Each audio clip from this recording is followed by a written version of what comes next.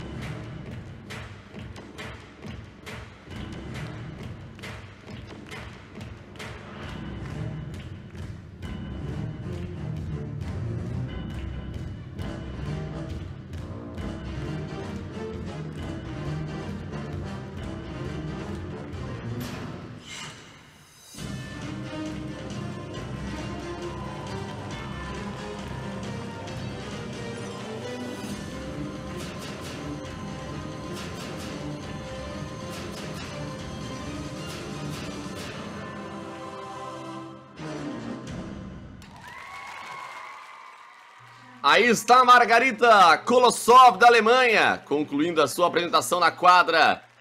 Jéssica Maier. Excelente apresentação da Margarita também. É uma ginasta muito habilidosa com o aparelho. A gente pôde ver é, duas recuperações onde ela recuperou o arco em rotação com a perna, né? Um movimento bem impressionante. Fez uma excelente série, está sendo uma final de arco aí é, muito forte até agora, né? A gente não teve grandes falhas, né? E isso é maravilhoso, né? Quando todas as ginastas conseguem executar o seu melhor, né? É, você está revendo os melhores momentos da apresentação de Margarita Kolossov, ela é nascida em Postan, na Alemanha, também 19 anos de idade, nascida em março, 11 de março de 2004, 1,70m.